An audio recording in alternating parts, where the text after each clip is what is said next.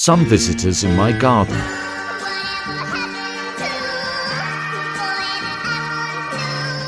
I noticed leaves in my plants are vanishing.